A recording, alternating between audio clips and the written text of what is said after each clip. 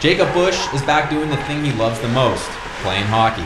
Buch was sidelined for over a year when he was diagnosed with a rare form of cancer.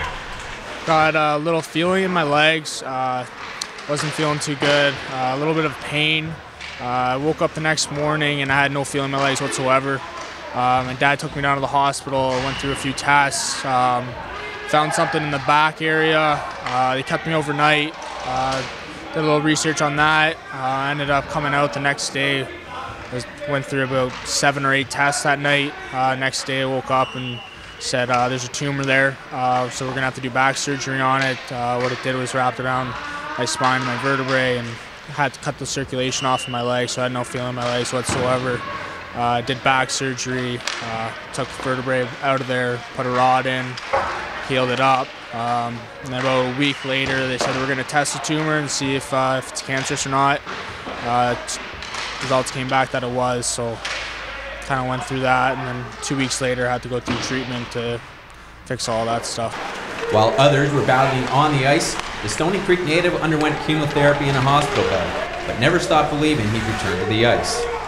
Uh, that was my main goal. Was it wasn't to beat the cancer, it was to get back playing hockey. Um, that was just the main priority for me. I looked at it that way.